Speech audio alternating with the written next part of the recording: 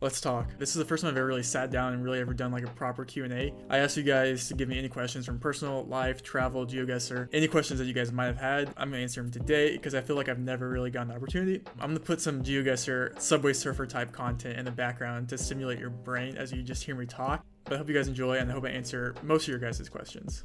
Alright, I just went through and like screenshotted 20 to 30 that I thought were like good enough and like diverse. I haven't really thought about any of these answers so far, so I'm just gonna go through them. I think the most important question that someone asked me, and it was actually the top comment, was, you know, up front right now, I think it's important to just address this very, very early. It's coming from Chilo Soyo, and they're saying, have you ever gotten a Snapchat from a girl? And I think, um, no, this is Thailand. Oh my god. That sounded so much better in my head. Alright, next question. Circus Joint says, What are your favorite YouTube channels that you enjoy to watch and why? What do I enjoy to watch? I think the most underrated channel on YouTube is um, a channel I actually found through Google Street View. He takes photospheres and he uploads like Nat Geo type content. Victor Posnov. I'll put the channel on the screen here, but he has a documentary around the Aleutian Islands on Alaska. It's probably one of the best videos I think that's ever been produced on the internet. Like, I'm not even kidding. His documentary on that is a must watch for anyone that enjoys geography. He's one of my favorite channels. I don't really watch GeoGuessr content. I don't know why. Other than that, it's kind of just like travel stuff, like Yes Theory, obviously. I don't know. It's it's mainly just I just go through my recommended after I watch things like RealLifeLore, Wendover Productions, things like that. I'm sure most of you guys can relate on most of those channels. Probably not too big of a surprise, but I think most underrated YouTube channel is Victor Posnov. Felipe asks, what is your highest degree of education?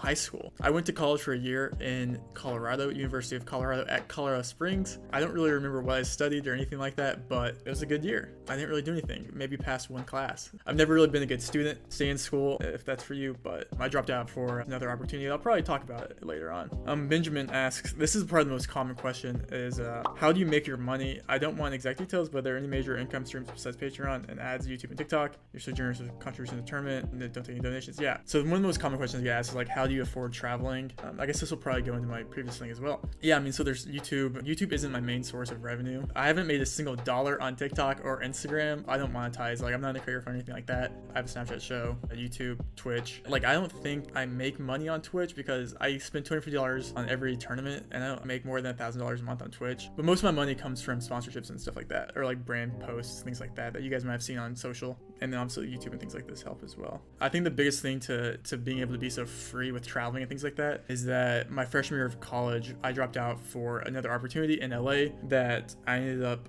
being, I think, pretty successful at. Yeah, I was working full time in LA for like four or five years. And I think candidly, by like the time I was like 20, I was making a six figure income. So being successful in that really allowed me to be more free on the travel I have now because it gives me a, like a lot of a cushion. That was like the initial big step. I was able to save up enough for my job I was working to be able to afford my travels initially. That was like the biggest thing. And yeah, I mean, you're probably thinking, why would you quit your job if you were like that successful? And honestly, I think that made it easier to quit my job. And you're probably thinking like, why would you quit your job if it, if you're making that much money and it was like pretty content? I think the problem or the thing that I always face is that I really hate complacency. And I know that sounds really dumb, especially if I'm coming from like a privileged aspect of like a secure job and income. I felt myself getting super complacent and it was like every single day was like the same. And if I had this opportunity in front of me with TikTok and Instagram and YouTube that it felt right to just quit my job and just like do something that actually made me happy. As cliche as that sounds, I wasn't very happy in LA.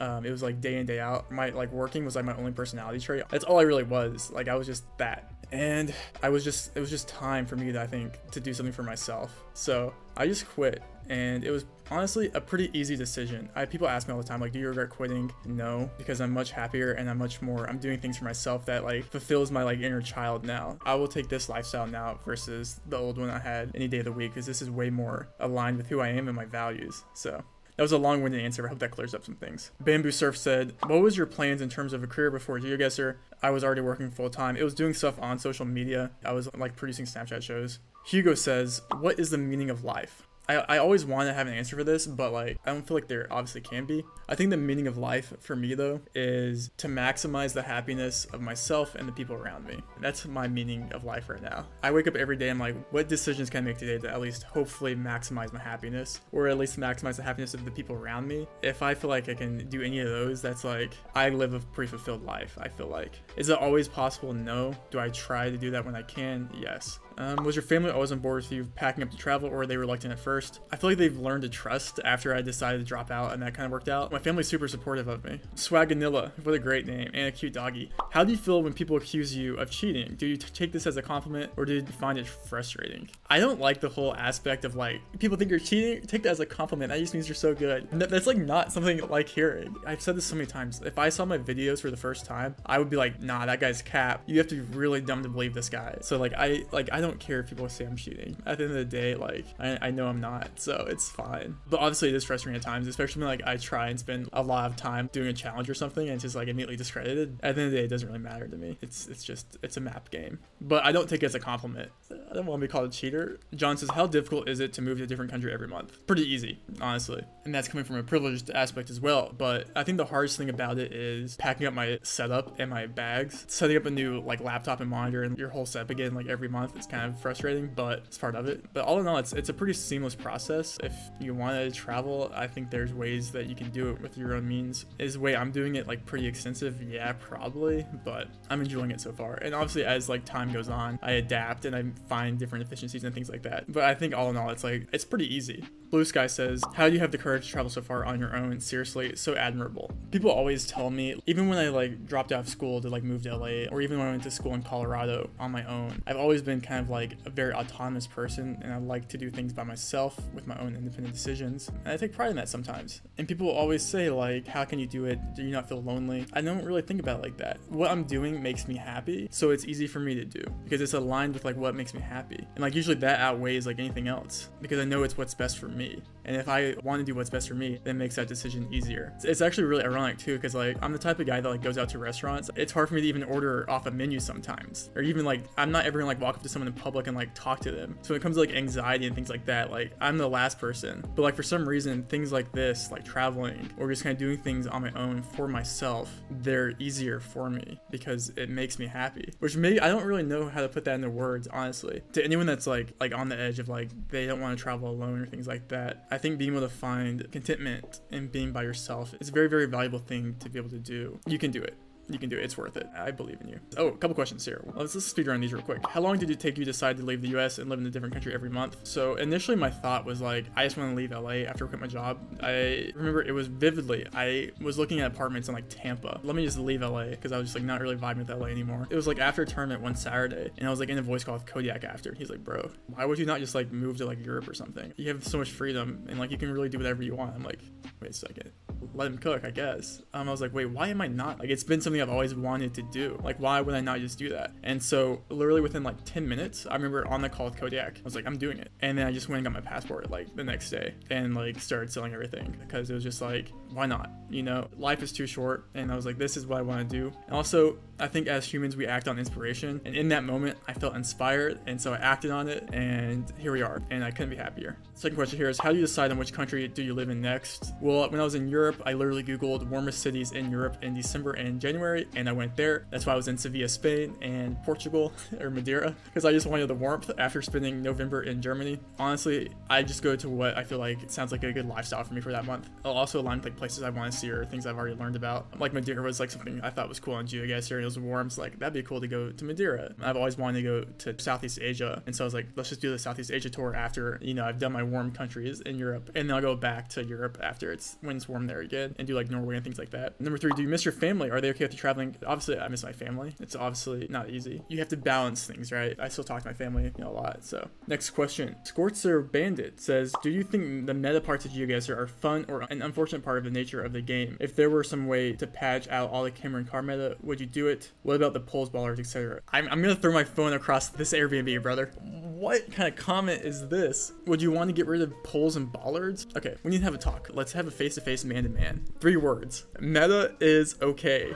Okay, I said it. Am I like the worst person on earth for thinking that? Yes, probably. To most people. I play the game because it's fun to learn, and once you start learning meta, it's hard to unsee meta, okay? Do I actively look out for camera blurs and things like that? No. Is it something you learn when you play the game a lot and you can't get rid of it? Yes. Also, like meta is okay. It's fun to learn meta. Like quirks of Google cars and things like that are fun. Do I enjoy more learning about the country and like different signage and different things like that, of course. Is meta the devil? It's not. It's it's gonna be okay. I promise. It's it's a fortunate part of the game. I think it adds a lot to the game. Assuming you're allowed to disclose this. Oh, dude. This is the most commented question I get asked on like TikTok. It's like the meme around my videos, right? But Dalton says, assuming you're allowed to disclose this, have you ever been contacted by a federal agency like the NSA, CIA, or FBI about your GeoGuessr knowledge, or do you worry that they might be worried about it? Guys, I don't know if you guys know why I fled the US, but No, the CIA doesn't want me. The CIA has many people that are much better than me doing their job a lot better than I ever would. Okay, let's be honest with ourselves here. I literally look at Google Maps, okay? I'm not some like professional geo analyst, okay? There's people that spend years professionally doing this kind of stuff. No, the CIA has never contacted me. They probably never will. They probably laugh at the comments of some guy guessing where they are in Google Maps in 0.1 seconds. Can people at the CIA do that? No, it's a completely different skill set. Is there like crossover between the skills with like, you know, where we like geolocate different areas and things like that? Of course. But again, there's people in the CIA that can argue that. It's good to be self-aware, you know? There's people in the CIA, FBI, and things like that. They're a lot smarter than me, okay? I, I will say, though, the extent of that that people have reached out to me, though, is just like bounty hunters. I don't really entertain that. Chalk says, thoughts on your second channel getting more subs than your main? I don't know if any of you guys even know I even have a second channel or a main channel. I don't know if that's like a completely different audience. I don't really care, to be honest. The second channel subs are just YouTube Shorts viewers, so it's completely different. People that actually watch my long-term content are on this channel, so it doesn't really matter to me. Acidic Diamond says, what is the best GeoGuessr map to get better? Also, how much playing did it take you to get to where you are now? Love your content. Dude, Acidic Diamond, I love your content. Uh, the best map to play is probably ACW or ADW, no moving. I always tell people to start off playing no moving because I think when people start playing, they move until they see something that they know, like a domain or a flag. So I always recommend playing no moving on like ADW where there's more clues because you really get an idea of like what countries look like. And honestly, just play a lot. I think I played 3,000 BR games before I ever was considered good. It's a patience, you know. There's no quick fix to, to GeoGuessr. It's, it's you got to put the work in like anyone else. Max says, how long would you travel around the world? I don't know, but it's probably going to be a while until I like settle down again because there's so much of the world I still want to see. I have a whole bucket list of places that I still want to see before I go back to the States. And even in the States, it'll be a while. I'll, I'll probably give it like another year.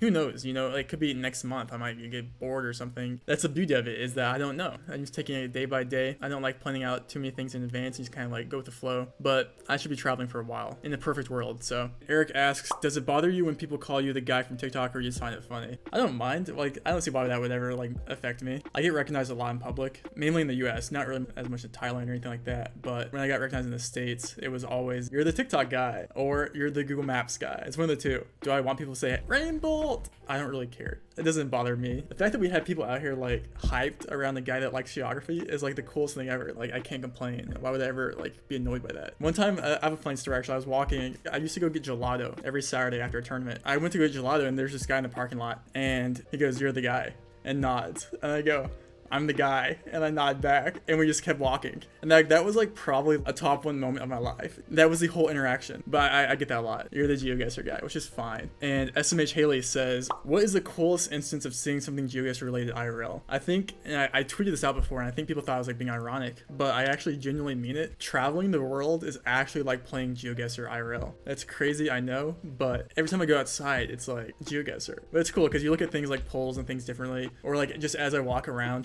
Chiang like Bangkok or something, I'm like constantly looking for metas. I'm always looking for ways to make my game better in real life. But I think the coolest instance was honestly just when I first landed in Germany, saw my first ever like real life meta of like outside the US that was just like a German street sign or something. And that was probably, I'm like, wow, they exist. And not only do they exist, but they're not in Gen 2 2008 Blu-ray coverage. They're in Gen 4 2022. Seeing the signs HD, that was probably the coolest thing just because it was like the first experience of like meta in, in person. But honestly, every time I see like a pole or something I've learned in GeoGuessr in real life, I'm like a kid on Christmas morning, so it's all amazing. I, I, I, love it. It's, it's one of the best parts of traveling, honestly. All right, so those are like pretty much the most frequently asked questions I covered. So I hope that was like uh, enough. If you guys want more questions that I'd maybe to answer, honestly, just comment them below and I'll try and get to as many as I can in the comments because I know there's a ton that I probably didn't get to. But honestly, let me know if you guys like this because I'll, I'll, do another one too if, if that's like something you guys are interested in or if there's like a lot of really good questions that maybe I didn't cover. So subscribe if you're not or don't, and I'll see you guys next time. Goodbye.